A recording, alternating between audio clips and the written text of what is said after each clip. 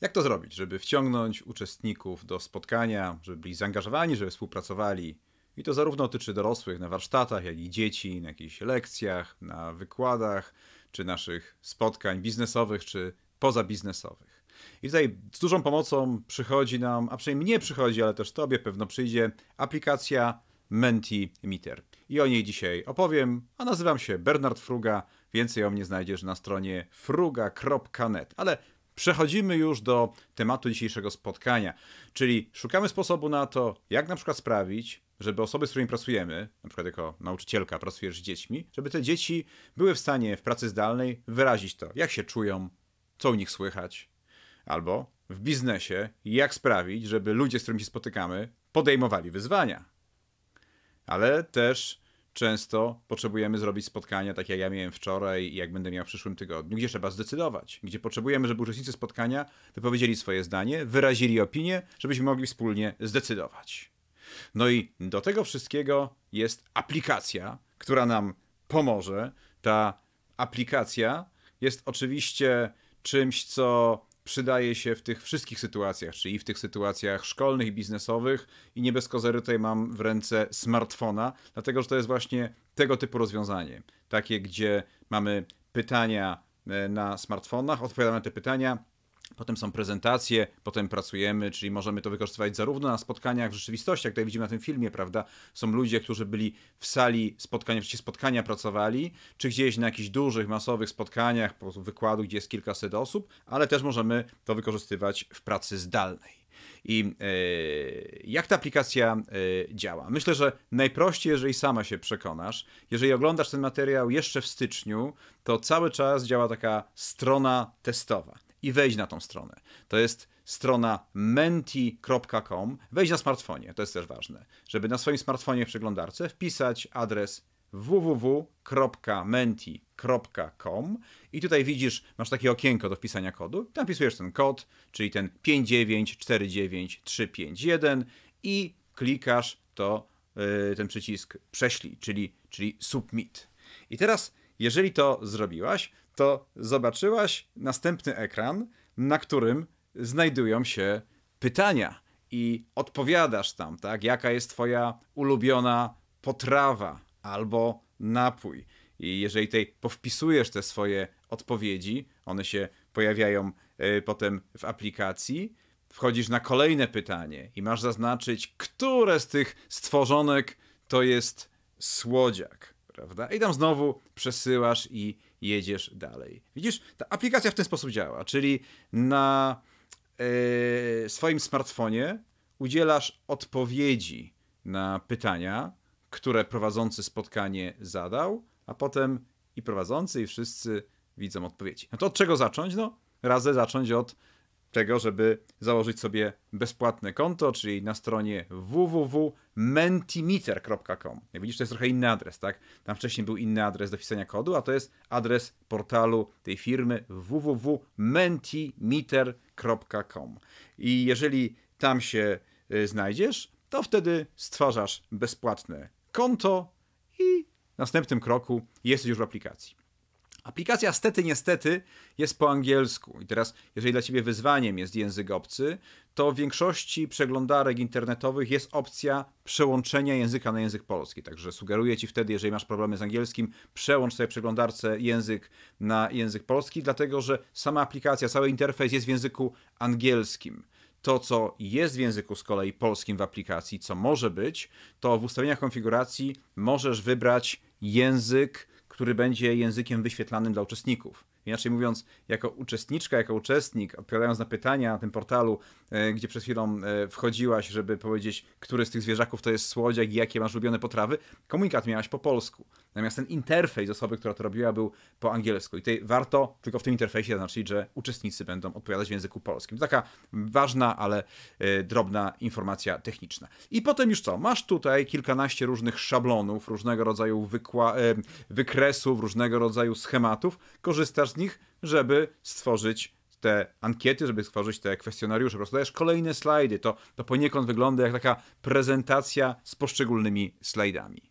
No i teraz, co można w tym Menti zrobić? Jakby, jaki rodzaj zadań, jaki rodzaj sytuacji tutaj się nam przydaje. Myślę, że przede wszystkim, jak już widzisz, to jest coś, co nam pomaga w takim zaangażowaniu i współpracy na żywo, dlatego że robimy ankiety, chmury, chmury słów, tak jak była ta chmura słów z tymi ulubionymi potrawami, tak, czy jakieś pytania wielokrotnego wyboru. Tam jest bardzo dużo różnych sytuacji, z których możemy y, korzystać. Możemy też zbierać opinie aby zapytać przed zajęciami, po zajęciach, z czym przychodzicie, czego potrzebujecie, co dla Was mogę jeszcze zrobić. Możemy na przykład w pracy online'owej, na przykład w takiej pracy, jeżeli sobie działamy gdzieś na Teamsach czy na Zoomie, jakby tam ankietą zapytać, czy wszyscy słyszą, czy ktoś ma jakiś problem, czy ktoś ma jakiś problem techniczny, prawda, jeżeli jest to kilkudziesięciu uczestników, żeby to szybko załatwić. Możemy też włączyć usługę pytań i odpowiedzi i w ramach tego Menti można byłoby zadawać pytania i odpowiadać. Szczególnie właśnie mówię, że to jest duże audytorium i te pytania muszą być wysyłane zdalnie.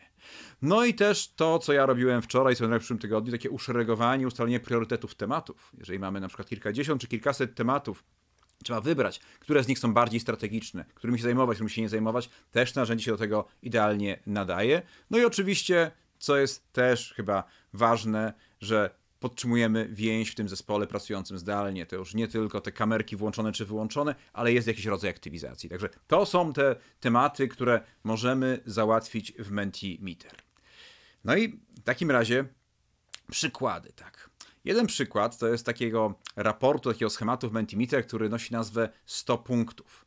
Czyli powiedzmy, mówimy pracownikom, czy współpracownikom, czy wspólnikom, mamy w tym momencie wypracowany dość duży zysk, mamy gotowość, żeby go gdzieś zainwestować, Wybierzcie, czy kupujemy nowy sprzęt komputerowy, czy rozdajemy to jako nagrody pieniężne, inwestujemy w inne biuro, w nowe biuro, kupujemy posiłki dla pracowników, może samochody. No i teraz jest taka możliwość, że mówimy każdemu z uczestników takiego ćwiczenia, masz do dyspozycji 100 punktów i przydzielasz je, wszystkie na przykład 100 na jakiś jeden temat, albo na przykład 20 tutaj, 20 tam, żeby y, wybadać jaka jest preferencja. I wtedy na tym Mentimeter tak by wyglądało tak naprawdę to, co ta osoba e, daje, czyli na przykład nowe biuro, prawda? I możesz tutaj przydzielić tam od zera do 100 punktów, prawda? Jeżeli te 100 przydzielisz na nowe biuro, to już zero zostanie na następne. Czyli tutaj rozdzielasz pulę punktów. To coś takiego jak w sytuacjach warsztatowych mieliśmy w przeszłości, że wpisywaliśmy na flipchartach pomysły i kolorowymi karteczkami, na przykład ktoś dostał 100 kolorowych karteczek,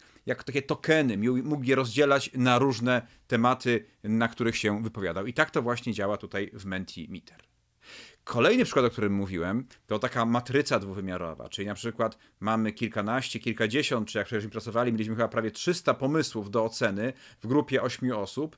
No i w tym momencie musimy określić, który pomysł nas przybliża do strategii, czyli ma wpływ na realizację naszej e, wizji, naszego celu strategicznego, a jednocześnie jaki jest poziom wysiłku. Czy dany cel będzie nas kosztował dużo czasu i wysiłku, czy niewiele. No i wtedy powstaje taka matryca dwuwymiarowa. I na przykład widzimy, że ten punkt siódmy, czyli poprawa naszych standardów pracy, będzie miał ogromny wpływ na realizację naszej strategii, ale jednocześnie jest opatrzony dość dużym wysiłkiem. I w przypadku na przykład tego rodzaju e, pytań, no to uczestnik widzi taki interfejs jak tutaj, prawda? Takie suwaki, gdzie przesuwa wtedy na przykład od 0 do 10, tak? Jaki będzie wysiłek? No powiedzmy na 8. Jak będzie miał to wpływ na 10, ale też może kliknąć pomin, jeżeli na któreś pytanie się nie chce wypowiadać, przesyła potem i ten raport powstaje dla prowadzącego warsztaty. Także takie przykłady. Jak to od kuchni wygląda? Wygląda w ten sposób, prawda? Czyli tworzysz sobie ten slajd z takimi pytaniami i tutaj po prawej stronie wypisujesz te tematy, te punkty, które będą oceniane. Tak to, jeżeli już tak mówimy o tym, jak to od strony kuchni wygląda, no to spójrz, tak naprawdę poza tymi slajdami z pytaniami, z kwestionariuszami, możemy mieć też slajdy takie jak w PowerPoincie. Tak? Mamy tutaj na przykład te slajdy, które w tej chwili oglądasz w ramach tego naszego e, filmu na, na YouTubie. No bo tak naprawdę to, że ja dzisiaj mam w ręce smartfona i cały czas klikam w czasie tej audycji, to dlatego, że na wersji smartfonowej tej aplikacji Menti jest coś takiego, co się nazywa Menti Mode. Czyli jeżeli to sobie wybierzesz, to wtedy na swoim smartfonie masz taki pulpit, takiego pilota, który umożliwia ci zmianę slajdów. Tak naprawdę te wszystkie slajdy, które dzisiaj pokazuję w naszym filmie, to są slajdy właśnie w Mentimeter. No i teraz ile to kosztuje, prawda? Narzędzie wygląda atrakcyjnie. Prawdopodobnie cię zachęciłem do tego, żebyś z niego skorzystała czy skorzystał, no ale ile to trzeba zapłacić? Jak widzisz, jest parę modeli cenowych. Podstawowa oczywiście wersja bezpłatna, potem Basic około 10 euro miesięcznie. Uwaga, to jest płatne rocznie, czyli nie można sobie na miesiąc tego kupić, tylko od razu musisz płacić za rok i potem te wyższe plany cenowe. Powiem tak, moją ambicją na dzisiaj było to, żeby całą prezentację, cały film zrobić na wersji darmowej, czyli wszystko, co widziałaś dzisiaj, było w tej wersji darmowej. Cała ta prezentacja, to sterowanie, te pytania, to wszystko było w tej wersji za, za 0 dolarów czy za 0 e, euro. Natomiast ja użyłem wersji płatnej, czyli tej, które, gdzie płacę około tych 10 e, euro czy, czy dolarów e, miesięcznie. Czym się te wersje różnią? Czy warto płacić? Ja płacę, ty możesz na przykład na początku korzystać z wersji e, bezpłatnej.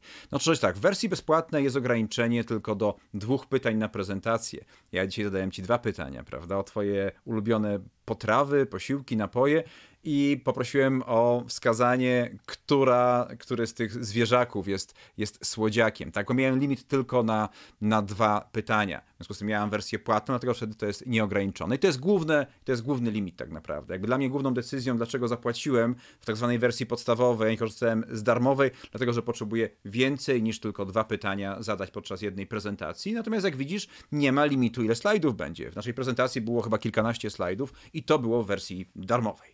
Dobrze. No i myślę, że to już wystarczy, jeśli chodzi o wprowadzenie w Mentimeter. Także mam nadzieję, że Cię zachęciłem i że też jakaś inspiracja zostaje z tego dzisiejszego spotkania na temat tego, w jaki sposób możemy bardziej zaangażować, w jaki sposób aktywnie możemy pracować z dorosłymi i z dziećmi w naszych lekcjach, zajęciach, wykładach i warsztatach. Pogodnie Cię pozdrawiam.